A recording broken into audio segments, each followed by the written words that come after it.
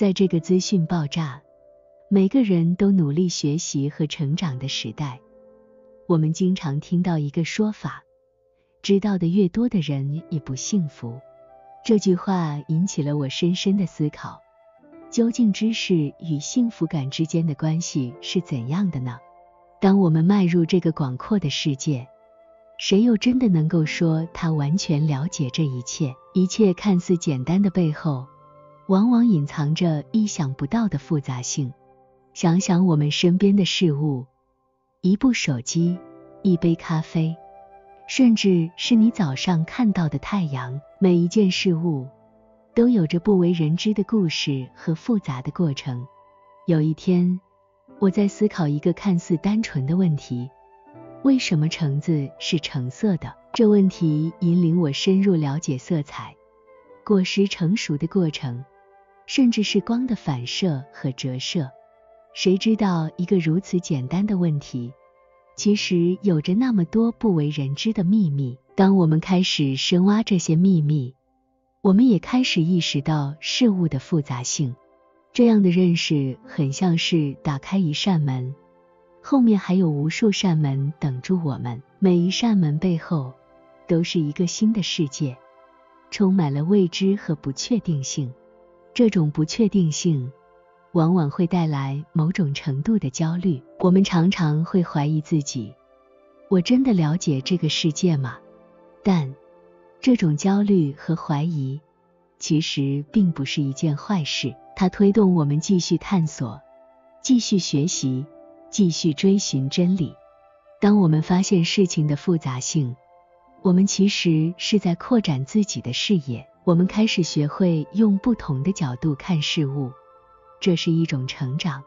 当然，成长的过程中，总是充满了不确定和担忧。但这样的不确定和担忧，其实是一种动力，推动我们前进。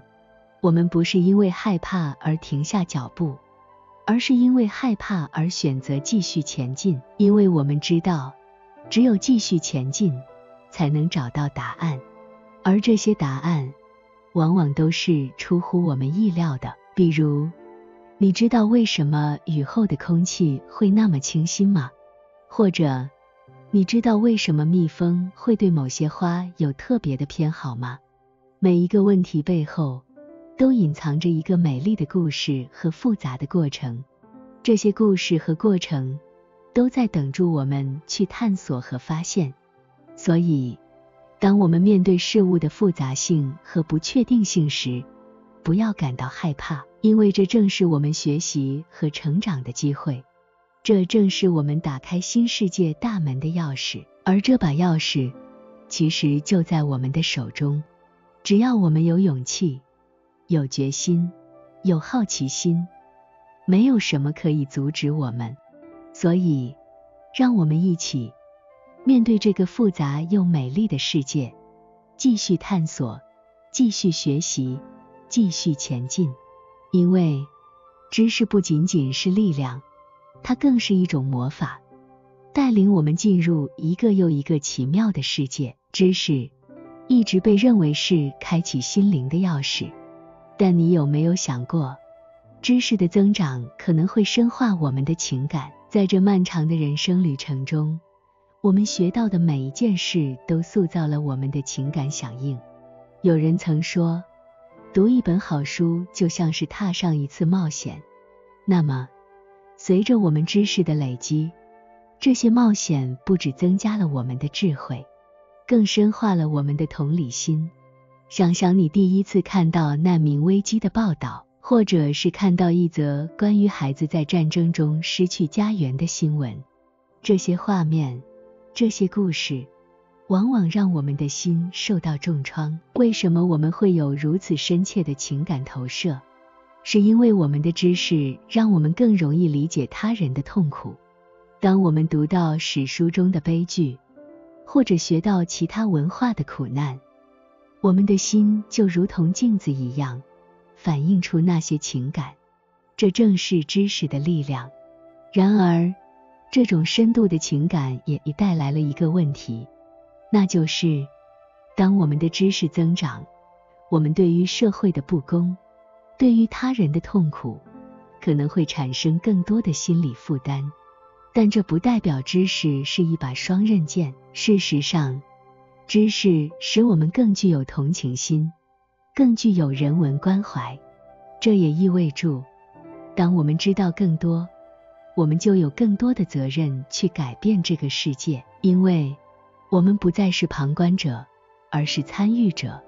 当我们深深感受到某个事件的影响，我们的内心就会有一股力量驱使我们采取行动，这也是知识带给我们的礼物。所以，当我们感受到心理的压力，我们不应该逃避，反而我们应该面对它，思考我们可以怎么做，怎么改变这个世界。有些人认为这是一种理想主义的想法，但我认为每个人都有能力。都有责任去做出一些改变。毕竟，如果我们都选择逃避，那么这个世界将如何前进？所以，当你下次感受到某件事情的情感深度，不要害怕，相反的，拥抱它，让它成为你的动力。因为，知识不只是让我们更聪明，更重要的是，它让我们的心灵更加丰富。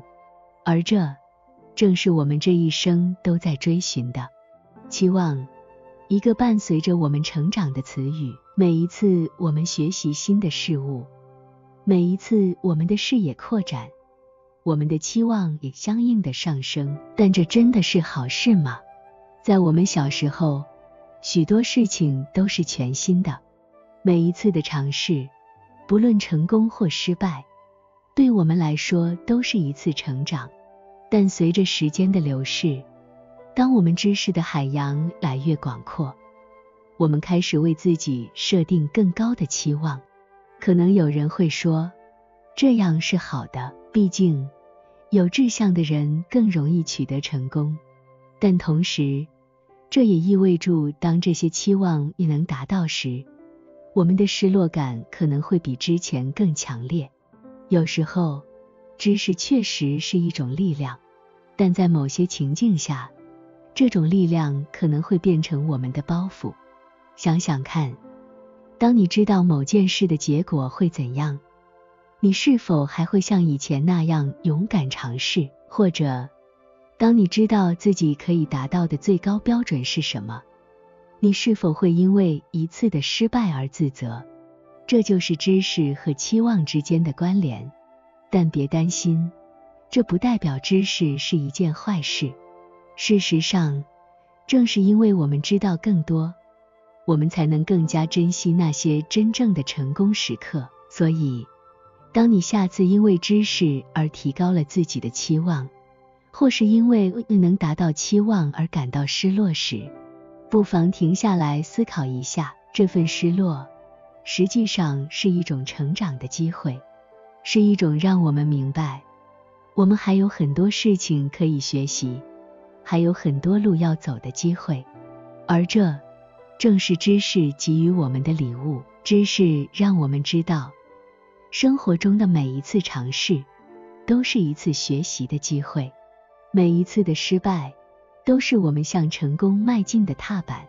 所以，下次当你因为知识而设定了更高的期望，不妨先问自己一个问题，那就是这份期望是否是你真正想要的？如果答案是肯定的，那么就勇敢去追求；如果答案是否定的，那么就重新评估，找出真正适合自己的目标。毕竟，知识不只是一个工具，更是一种指引。它告诉我们，只有明白自己真正想要的。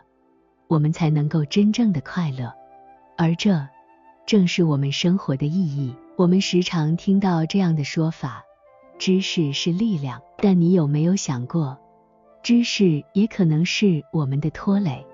想象一下，你在一家餐厅，你看中一份拥有无数选项的菜单，从起司汉堡到鱼排，从沙拉到意大利面，对于每一道菜。你都试着分析它的营养成分、口味，甚至还要考虑到价格。在过度分析所有的选项之后，你可能会发现自己已经失去了最初的食欲。这就是所谓的过度分析的魔咒。当我们接触到太多的资讯、太多的选择，我们可能会陷入一种困境，被称为分析麻痹。这就是当我们过度分析某一事情，以至于我们无法做出决策的情况。现在。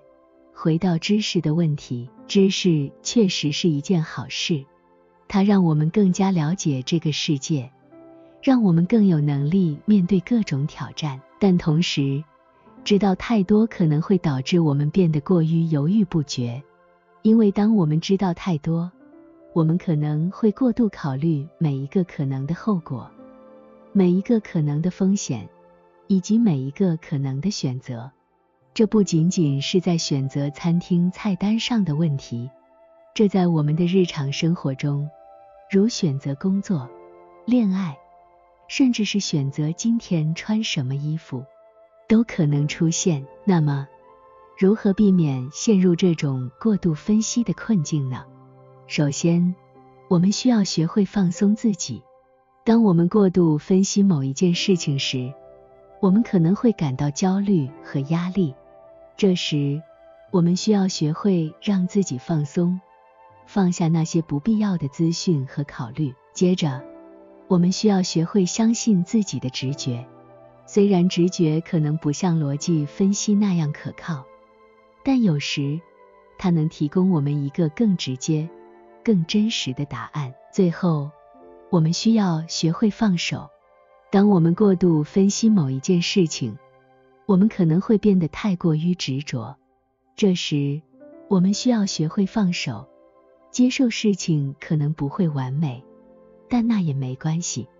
总之，知道太多确实可能会带来过度分析的问题，但这并不代表知识是一件坏事。我们只需要学会如何适当的使用知识，如何避免陷入过度分析的困境。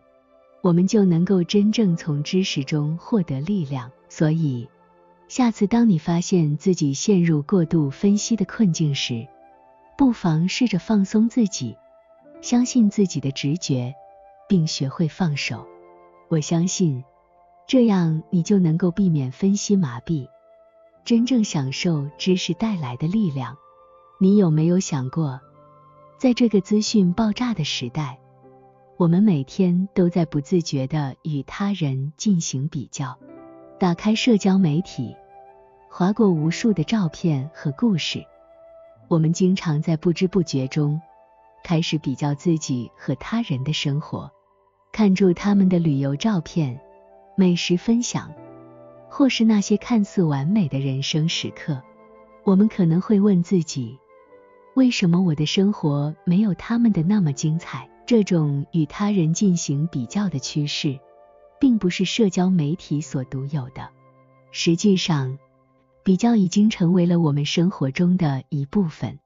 从我们的成绩、工作、家庭，甚至到我们的外貌和才华，似乎没有什么是不能拿来比较的。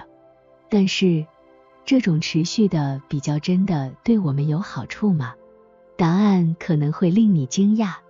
当我们持续的与他人进行比较时，我们可能会逐渐失去对自己的认识和价值的判断。我们可能会觉得，只有当我们超越他人，我们才是成功的、值得的。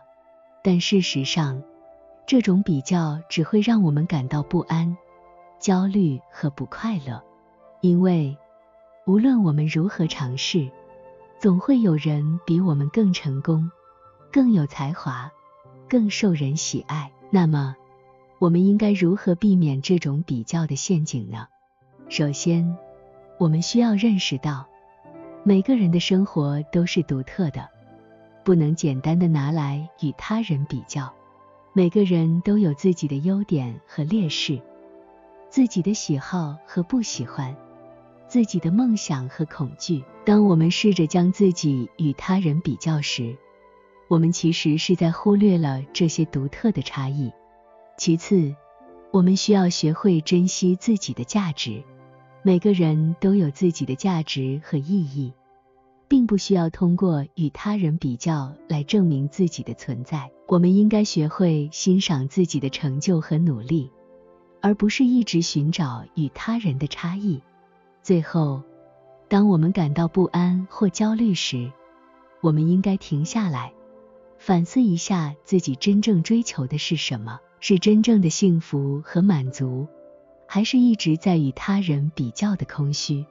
所以，下次当你再次感到不快乐，或是被比较所困扰时，不妨试着放下那些不必要的比较，学会欣赏自己，珍惜每一刻，并相信，只有当我们停止与他人比较。我们才能真正找到属于自己的幸福和满足。常言道，探索改善人生，感恩改变生命。让我们一起学习，领悟人生。